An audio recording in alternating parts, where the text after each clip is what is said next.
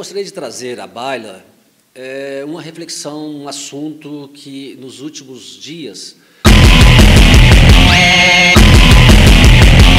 tem tomado muito espaço da mídia e a sociedade como um todo tem discutido a respeito desse fenômeno é, cultural do comportamento humano é, que as pessoas deram o nome, eu não sei de onde esse nome também saiu, dos rolezinhos. E é algo que eu comecei a, meditar e a perceber, bastante interessante o porquê desse comportamento. Eu gostaria então de trazer essa discussão, de falar acerca disso, por que, que isto ocorre, é, de onde isso surge e por que, que as pessoas é, têm esse tipo de comportamento. E eu comecei a perguntar: será que é, eu não gostaria, talvez um dia, uh, de ter dado um rolezinho, talvez em Brasília, no Planalto? Eu creio que cada um de nós talvez já passou isso pela cabeça. Uh, mas por que, que isso acontece? Nós sabemos que a sociedade que nós vivemos é uma sociedade uh, onde o, o, valor das coisas elas está sendo de uma maneira extremamente exacerbada, que é o capitalismo esse capitalismo ele tem distorcido, ele tem trazido algo maléfico e de uma maneira às vezes é, muito silenciosa e passa despercebido é, numa primeira, num primeiro momento.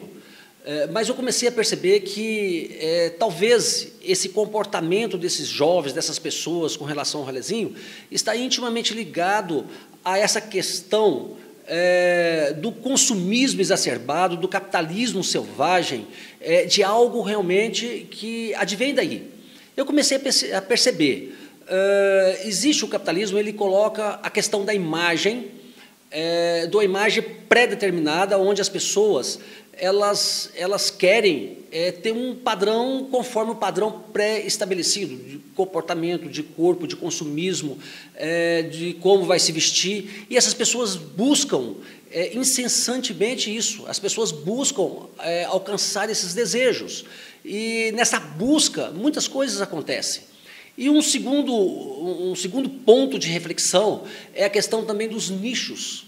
É, o próprio mercado ele vai criando os nichos. Os shoppings são destinados às pessoas de classe média. É, os de classe A, os ricos, nem shopping frequenta. Eles têm os lugares específicos, os seus carros é, de luxo, e um lugar onde poucos deles se, se reúnem para conversar, onde né, nem shoppings é, são. Agora, existem as pessoas, é, os pobres, esses pobres, eles têm também os nichos, que são aquelas lojas populares, é, de mercadorias inf, é, inferiores, mas não significa que são baratas, elas são inferiores, mas acabam dando muito lucro. Então, essas pessoas se reúnem nesses lugares. E esses indivíduos, eles acabam adquirindo a vontade, a necessidade de participar é, dos shoppings, por exemplo, do pobre. E ele tem esse desejo então, é, a partir do momento que ele que desperta nele esse desejo, ele, ele, ele pensa de uma maneira de estar ali, ou seja, ele percebe que o lugar valoriza a pessoa, não o inverso, não a pessoa que valoriza o lugar, são inversão de, inversões de valores que o mercado traz. E um terceiro ponto é o cybercultura, ou seja, a cultura adquirida a partir é, da, da, da, da, informação, a partir da, da internet. E é, com essa internet, as pessoas começam a ter uma ressignificação de valores, uma ressignificação, por exemplo, de amizade. Uh, uma pessoa ela é tida como uma pessoa é, bem vista ou que tem bastante amigos quando ele tem bastante seguidores. É, nós sempre ouvimos dizer, eu tenho 5 mil seguidores, eu tenho 7 mil seguidores, são pessoas que estão ligados ali. Então, essa ressignificação é também um fenômeno é, bem recente. E o que, que acontece? É, mas só que dentro da pessoa, no íntimo da pessoa, ela sente a necessidade do contato. Então, às vezes, ela, ela marca, como aconteceu, marcou no shopping. E essas pessoas chegaram até ali. Então, ali tiveram um comportamento é, indesejável é, para a segurança, indesejável para a segurança daquele local, e deram o nome de rolezinho. Mas eu creio que é, isso é algo que é uma, uma, na verdade, uma luta de classe, né? As pessoas querendo pertencer a algo que ela não, não pertence. E isso tem uma, um fundo, talvez, nesse mercado nosso. Né? Então, é isso que tem, nos últimos dias, me trazido uma certa, uma, uma certa inquietude e eu gostaria de falar, pronto, falei. Olá, eu sou a Suzana, acadêmica da FATEL.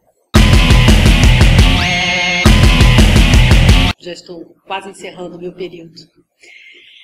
E eu quero falar um assunto que tem me incomodado bastante. É sobre a Copa no Brasil. É, nós estamos vivendo um período muito complicado no Brasil, na saúde, na educação, enfim, em todas as áreas. E a Copa vai ser feita no Brasil. Eu acho que muitas vezes os governantes acham que o povo brasileiro é otário. Eu acho que eles pensam que o povo brasileiro não tem noção do que acontece. Não é porque não fazemos manifestações a toda hora, a todo instante, como aconteceu o ano passado, que nós não enxergamos um palmo à frente do nariz. Mas nós temos visto os noticiários. A saúde é precária. Muitas vezes você vê mães dando à luz nas calçadas dos hospitais. Você vê as pessoas caídas nos corredores dos hospitais. E os médicos fazendo greve por um melhor salário. As escolas, a gente passa uma luta quando nós vamos procurar vagas para os nossos filhos. Você nunca consegue uma escola boa, decente, perto da sua casa. Aí você tem que usar o transporte público, que é outra piada. Você tem que levantar de madrugada, ônibus lotado, é pisoteado. Outra área em completa defasagem no Brasil. Sem contar a educação.